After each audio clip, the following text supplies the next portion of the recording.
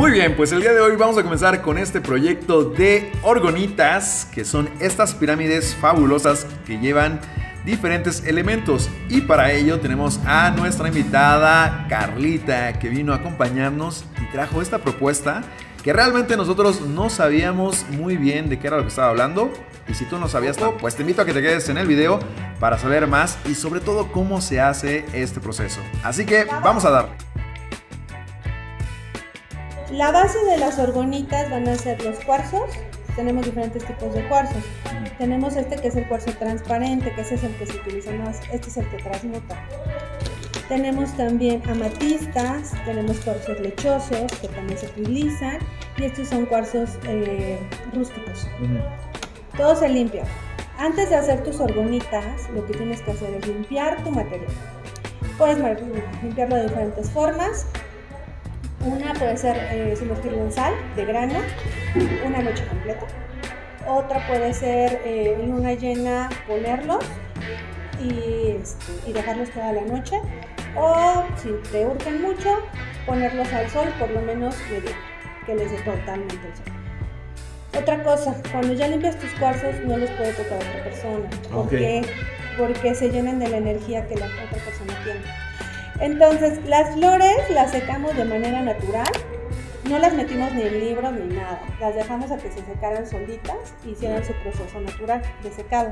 Ok, porque hay, hay alguna manera de decir va primero esto, esto, esto, o es así como. Mira, por lo, por lo, regular, eh, yo lo que he visto de las orgonitas es que siempre ponen los cuarzos al principio y al final ya ponen todo lo que es aluminio, o, este, o cobre, en este mm. caso así. Entonces, ¿por qué lo ponen así? Para que haga la transmutación de la energía. Muy bien, pues ya vamos a comenzar con esta explicación, pues realmente fue muy enriquecedora, ya que nos permite saber un poquito más al respecto de las orgonitas. Y bueno, ahora lo que nosotros vamos a hacer es esta mezcla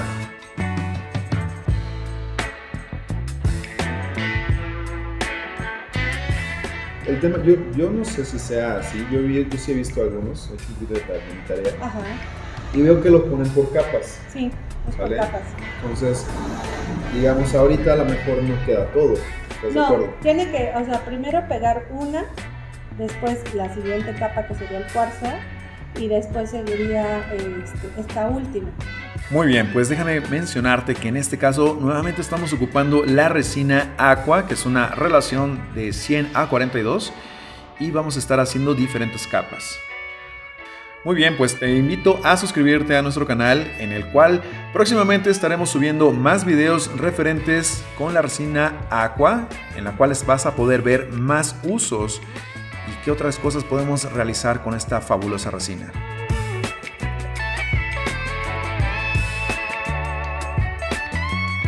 Muy bien, pues en este caso, como me comenta Carla, lo que vamos a hacer es simplemente hacer un pequeño vaciado y en eso ir poniendo lo que son estas florecitas que ella previamente ya secó o ya dejó secar por un periodo. Es muy importante ocupar florecitas que ya estén secas completamente, que no tengan nada de agua para que no tengamos burbujas en el momento del secado de la resina. Algo muy curioso que te quiero decir es que Carlita era muy específica con el tema de las piedras que ya estaban siendo trabajadas, a lo cual solamente ella las manipuló. En el caso mío yo solamente apliqué la resina o le apoyé aplicando la resina y ella fue manipulando todas las demás piedras que eventualmente te vas a dar cuenta las fuimos poniendo. Es muy importante también de estos proyectos tener un área nivelada, tener un área que esté también cubierta de polvo, ya que puede entrar cualquier animalito, polvo u otra, o incluso una persona llegar a tocarlos y dejar la marca. Entonces ya una vez secos, vamos a agregarle la siguiente capa. Para esto nosotros simplemente esperamos aproximadamente unas 12-14 horas ya que la resina no está seca al 100%, pero nos da una viscosidad que nos permite agregar los siguientes elementos y que no se hundan. Entonces, en este caso vamos a estar ocupando lo que es esta piruta de cobre, que también le va a ayudar mucho para darle una vista muy bonita a nuestras orgonitas. Quiero mencionarte, como te vas dando cuenta en este video, que ocupamos otro tipo de moldes. Esto fue meramente práctico para ver qué tipos de moldes nos pueden ayudar para los acabados. Incluso eh, Carlita nos comentó de estos moldes de, gelatina, como te vas a dar cuenta al final, y estos moldes de pirámide. Ambos tienen eh, diferentes terminados o acabados y a la hora de desmoldar te vas a dar la sorpresa que igual nosotros nos dimos de cómo es el resultado final.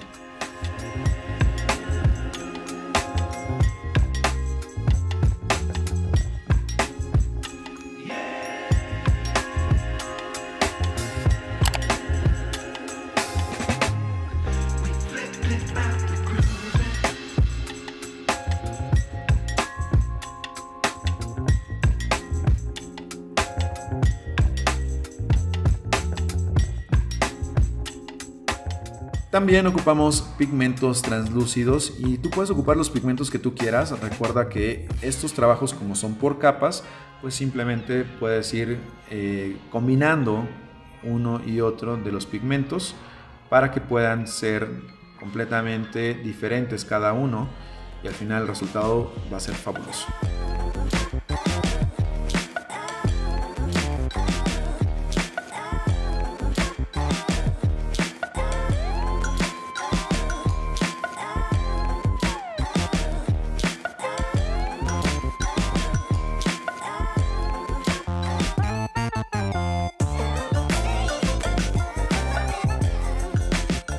Nuevamente llevamos estos trabajos a guardar y bueno, al siguiente día lo que todos esperábamos es el desmoldar nuestras piezas y así es como van quedando.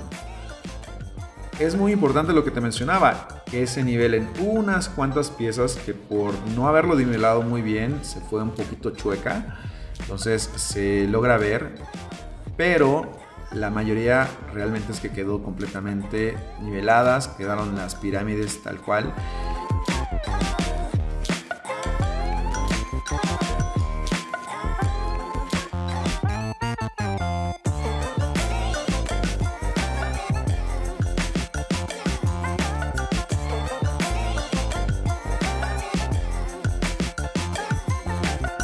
Hay unos que logramos ver que tienen cierta opaquez. Esa opaquez es meramente por el molde.